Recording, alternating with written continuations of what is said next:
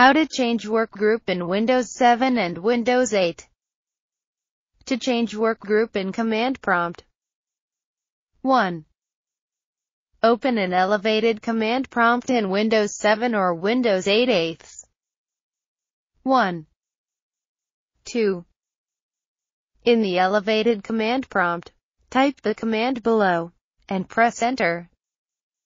Code WMIC computer system where name equals percent computer name percent call join domain or work group name equals work group name.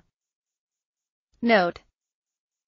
Substitute work group name in the command below with the actual name of the work group you want to join or create within quotes.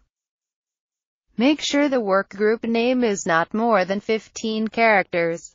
And do not use characters like these backquote tilde hash dollar percent caret n equals plus less than greater than 3. When successfully finished, close the command prompt and restart the computer to apply. That's it. Shawn.